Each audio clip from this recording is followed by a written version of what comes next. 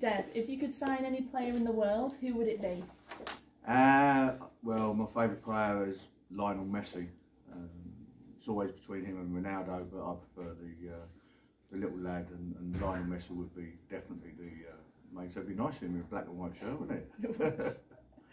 so, which Maidenhead player reminds you of yourself as a player? Um, it's hard to say because um, there's been a few good players uh, I've had over the years. Um, you've got the Barry Raikes, the Gary Attrell, and Matty Glynn. Um, then even little Reece Smith we got now at the moment. Um, he, remind, probably reminds me more of me because he's built like I was. He's skinny, right-footed, uh, can play left, play right. Um, but he's 19. He's, he's improving. Um, how far he would go, we don't don't know. But uh, I'd say in maybe stature and, and, that it'd have to be Reece Smith. But uh, I've had some good players um, that dribbled and all that, and the, the, ones I mentioned and that. So, but little Reece Smith at the moment's 19, and we think a lot of him. So. Definitely an exciting prospect. Yeah. So when you first came to Maidenhead, what first attracted you to the club? Was it the players, was it the history, or was it something else that stood out? No, it's just it's just come over as a friendly club.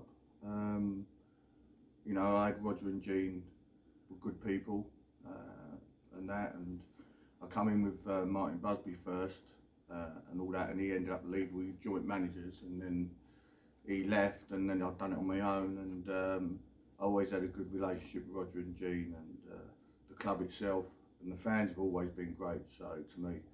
So it, it, just felt like home. It just felt like a, a, right family club, and that's why I really come with it. In both of your reigns as manager here, who has been the best player that you've had at Maidenhead? Oh, that's a hard one. That is. That is really, really hard one. You know, the first time around, I had some really. I mentioned the boys and all that, and I had some good players and and that. So, oh,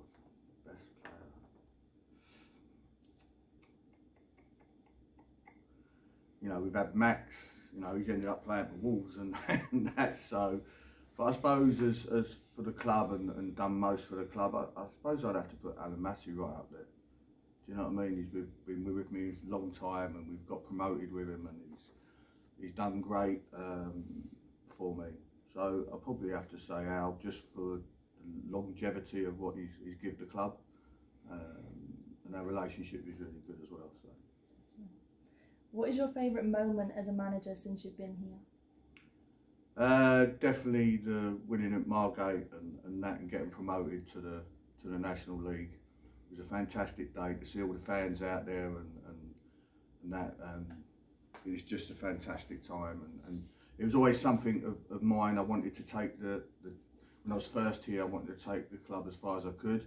It was just circumstances with Roger and Jean leaving that I left as well. Decided it was time. Um, and then when I had the, the, opportunity to come back, I jumped at the chance to be fair. And uh, to take me in the National League is, is, is great. Um, and now you want more. So the next step, I want to take me into the national, uh, into the League Two if I can. Yeah. Okay, so what is your view on how you could transition to having full-time players, and would you prefer that prospect as a manager? Of course, um, if you're working with a longer time, uh, better days. You can and put more of your infrastructure into the players all the time. They'll be fitter. Um, yeah, I'd love to do that. Um, but it's so through circumstances and with the pandemic at the moment, we just don't know what's around the corner. Uh, we're lucky and privileged that we're playing now, um, which I try and get through to the players. And um, we just got to wait and see on that. But yeah, I'd love to take it into full time. We've had a few funny questions sent in from the Maidenhead supporters. So the first one is, what's the best fancy dress costume that you've seen at a Maidenhead game? Oh, oh seen a few. I suppose when I remember the, the lad at Dagenham come as me, I thought that was quite, I thought that was quite funny because uh, it brings me back to when I was I, I was at Hampton and and once the, we had a fancy dress party and all the players turned up as me and it was really funny to, to have the tash and the wig and all that. But seeing the lad at Dagenham brought memories back. But I'd have to say that because just to, just to see yourself looking at it is, but everyone still thinks me to have long hair and a tash, which is uh, it's quite funny as well. okay, so back onto the football side of things. Can you remember the day that you were signed for West Ham? Yeah, I can. Uh, it was on a, on a Thursday night. Uh, yeah, I signed. I think it was the twenty second, twenty second of September. I think it was something like that. And then I played the first game. But yeah, I remember it like yesterday. Um, you know, when you sign, I've gone from playing for a club like this and then going straight into a Premier Club or top uh, flight club. It's uh, it's all uh, still there.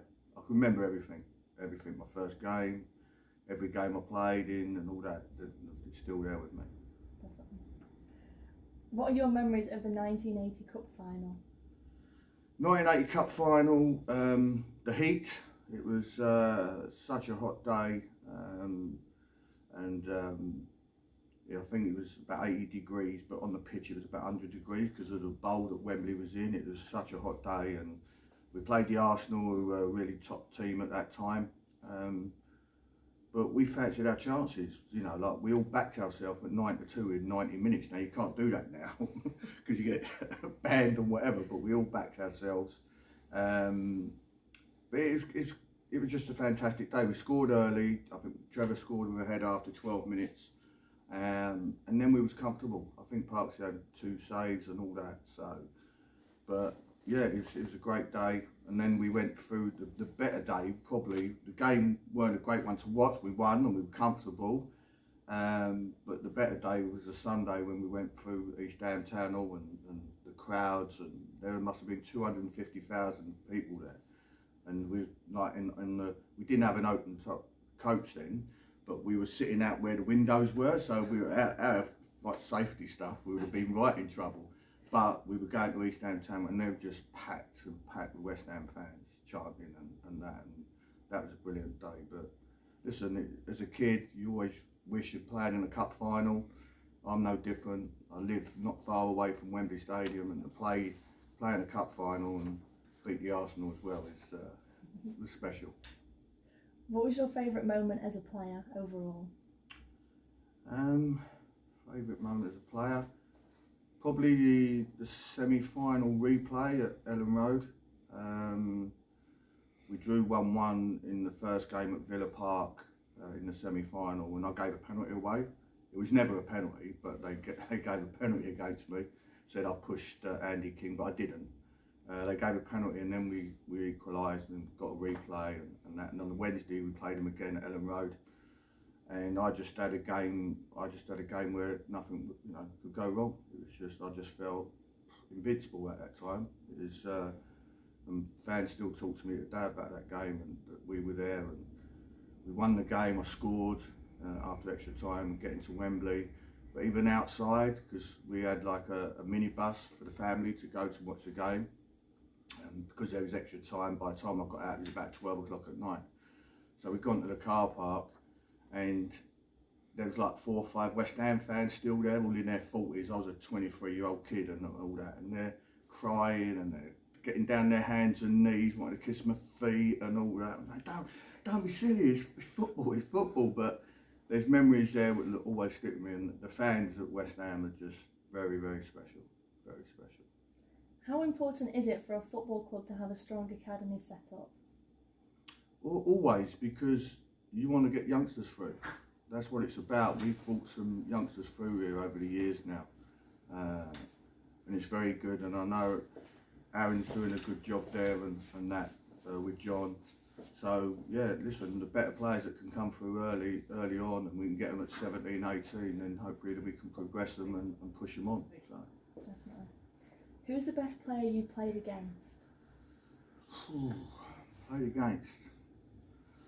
But I played, probably the best player I played against and seen in the flesh, as they say, was uh, I played against West Germany for England at Wembley, and they had uh, a lad called Karl-Heinz Rummenigge up front, and he was a special talent. He was to see him close up and how sharp he was, and he scored two goals against us. We lost two one. It'd have to be him and, and also Lothar Matthäus, who also played for West Germany. So I'd have to say them two Okay, so another question away from the football side of things. Do you still have five sugars in your cup of tea? I've cut down to four. Oh, controversial. I've cut down to four now, yes. I've cut down to four, yeah. So, uh, yeah, yeah, the missus told me you've got to cut down. So I cut down, I said, only well, I cut down to four then. Okay, so on the topic of food and drink still, what is your favourite meal? Ham, egg and chips. Ham, egg and chips is my favourite meal. I love that. Um, um, yes, I'm not into the posh nosh as they say, but uh, ham, egg and chips yeah, with a slice of bread and butter does me fine. Do you have any pre-match superstitions or anything that you'd maybe do on a match day that you found to work? Yeah, I try to wear the same clothes. Um, I keep these trousers for match days and I, the same shirt for match days. Um, the same cap for match days. Um, yeah, I, I, try and I've always been like that as a player. So uh, yeah, I'm a, I am a little bit superstitious when it comes to that, and try and do the same things that I do on a regular basis. If we've had lost three on the trot, then I might tweak something and change something. Um, but yeah, and we've done that a few times as well. So right, thank you for your time, Dan. No worries, pleasure.